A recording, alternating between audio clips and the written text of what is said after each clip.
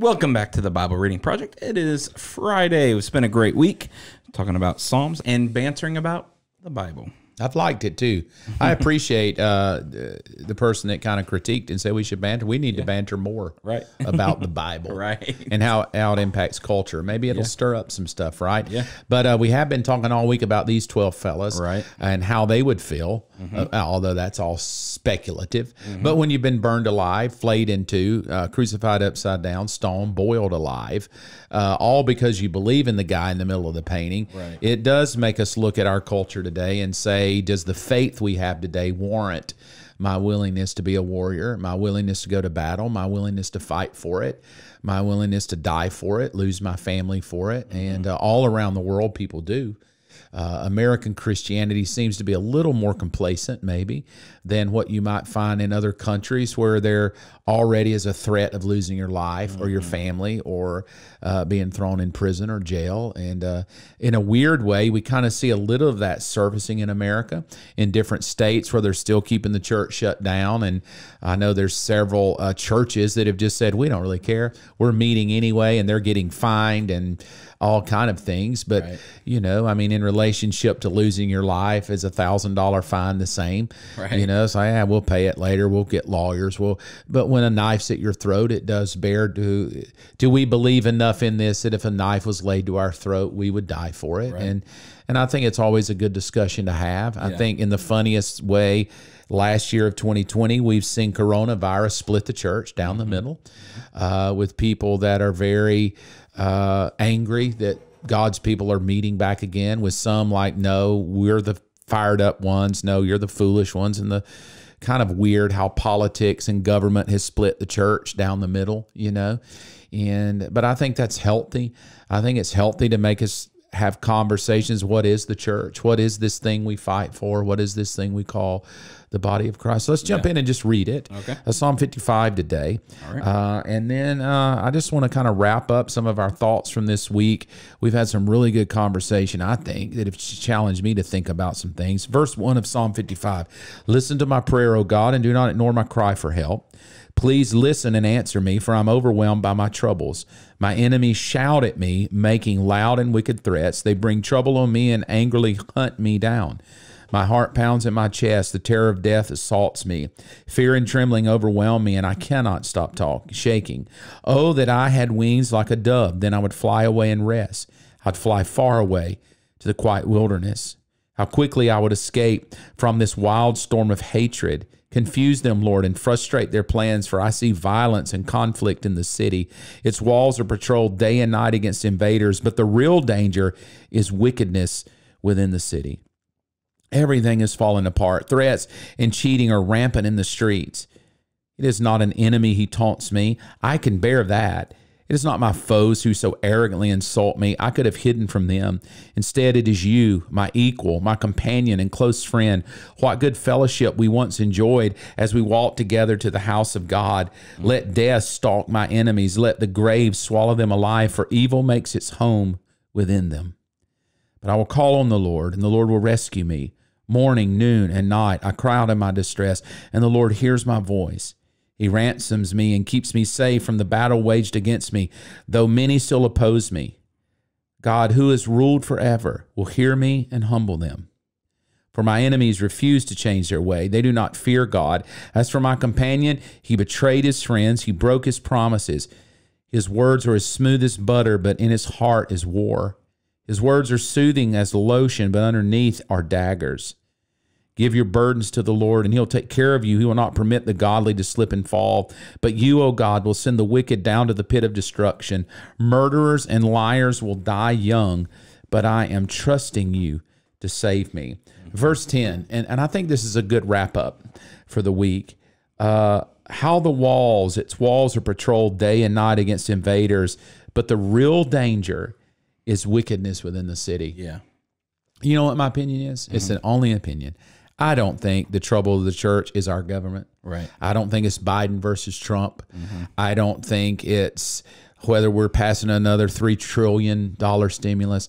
I think the real danger of the church is inside our own walls. Yeah, it's us. Us. It's uh, the division against each other. And I said that this week how the church, just over government and politics, since uh, the election of 2016 with uh, President Trump being elected to, to 2020, there has come a division in God's body where we can't even fellowship together.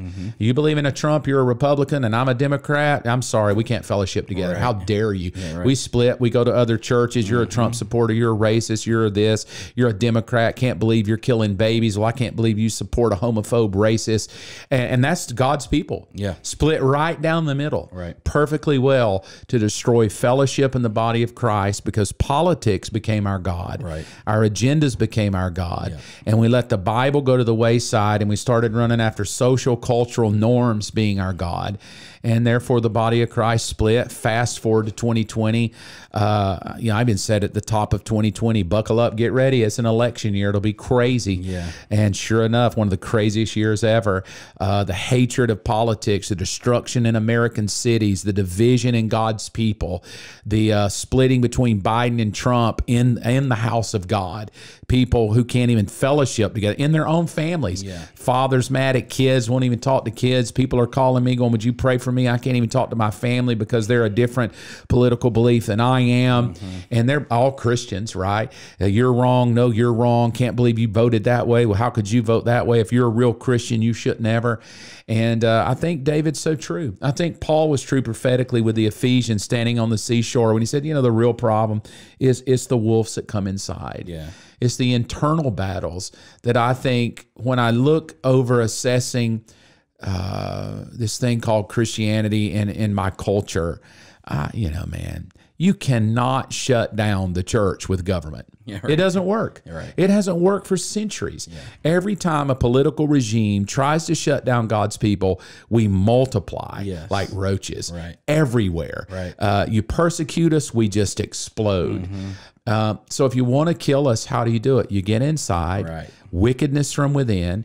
You corrupt the faith. You get people lustful. You get them lazy. You get us thinking. You said it the other day more about ourselves, Mm-hmm. our agendas, our religious agendas, and you kill them that way. Right. And David said it. He said, "You really want to know the problem? They're patrolling the walls, Yeah. but the real enemy's inside." Yeah. And I think, what what's your opinion on that? I mean, you grew up, you've, you've been in church a long time. Mm-hmm. What's your opinion on the external forces against us versus the internal forces? I think on the external forces, I expect you to throw daggers at me. I expect you to persecute me. My expectation is that you're not gonna we're not gonna live on the same playing field. When you're on the external, when you're on the outside of it, I expect you to cuss me out and not really understand my beliefs and all that. But when we're arm in arm, when we're in the trenches together, when we're fighting together, my expectation is that you have my back. My mm-hmm. expectation is that you're gonna you're gonna encourage me and pray for me and and love me and and help me out when I need it. But all the while, it seems like sometimes those that are in the trenches with me while I'm down and out will kick me, spit on me, curse me out.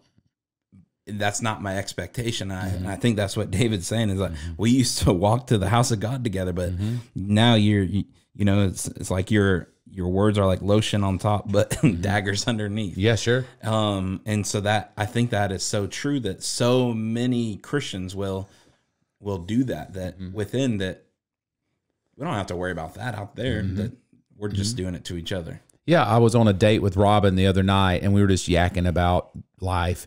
I said, It's amazing to me how many Christians that love Jesus today mm-hmm. that I meet who are hurt, disillusioned, not because of the world, but because another Christian leader, mm-hmm. a pastor, a Christian friend, a brother or sister in Christ Yeah. has done them wrong, hurt them, disillusioned them. They've dropped out of church. They've quit serving. Mm-hmm. They've lost faith in God's people, not because the government is supporting abortion, not because they told us to quit praying in schools, but simply from an internalized warfare that spreads, Paul says, like a cancer, Right. and literally eats the body of Christ. I think that's why this group of fellas here in Acts, once they were in the upper room, and once the power of the Holy Spirit fell, by the time we get to Acts chapter five, we have the weirdest story ever of Ananias and Sapphira. Right. And Peter looks at him and says, "Oh no, mm-hmm. no, that is not going to be here." Yeah. In this in this gathering. and both of them dropped dead for lying to the holy spirit. Fast forward to corinthians. Paul says to the guy sleeping with his mother-in-law no that's not going to be here. You can't police this. This won't this won't be here. This has got to be put out. Uh, we will not allow this to happen. And you even just try to bring up church discipline today. It just it just causes the hair on the back of your neck to stand up uh, because of the abuses and because of the perversion and because of the sex scandals and because God told me to tell you to tell. and so what you end up with is an anemic thing called church uh, because now who really is right? Right. Uh, I always, you know, make a joke about the Catholic Church. One thing they have going, they have one dude at the top that's making the decisions. You like it or you don't. Yeah. And and with our Protestant churches, there's so many variants and so many beliefs and so many streams to swim in, and so many that we all just swim thinking we're right. And maybe we are, maybe we aren't, but it's hard to fight for that. Yeah. So we have to pull ourselves back together as a body and say, what what would everybody who claims to be a Christian be willing to die for? Yes, yes. You know, is it is it can we wear blue jeans or get tattoos? We die for that, or is it what we've always said that we're, we're going to die because he's a resurrected Lord? Yeah. And that's what the church represents. We represent the body of Christ on the earth as witnesses to his resurrection. We're the light of the world. We're the salt of the earth. And I think, my opinion, this year, you're going to see that raise up. You're going to see a generation of young men and women passionate to run after that God, passionate to run after that kind of. Uh, a willingness to die to themselves and to say, I want to be the generation that, uh, you know, here's a weird word, to resurrect the true church, the, the church that's going to, as you said uh, a few days ago, in the last days, many will fall away, but there will be a remnant left of God's people. Yeah. Though narrow it may be, narrow the way, and many there be that, you know, come, but few are chosen. I, I think you kind of see that. And, Right. and the weird thing about it is both sides probably feel like they're the narrow way. And and hence we we we find ourselves in a generation where we got to run with what we believe, you know, what we passionately hold to. And I guess I would say to that is whatever that is, would you die for it? Right. And if you won't, you need to rethink what you're believing in and what you're fighting for. And uh, otherwise, it's a futile faith if I'm not willing to be the warrior and to go to war for it. Right. And dude, thank you for hanging out with me this you. week. I enjoyed it. It was fun. I'll see you Monday. Have a great week. Ron and I love you. Bless you.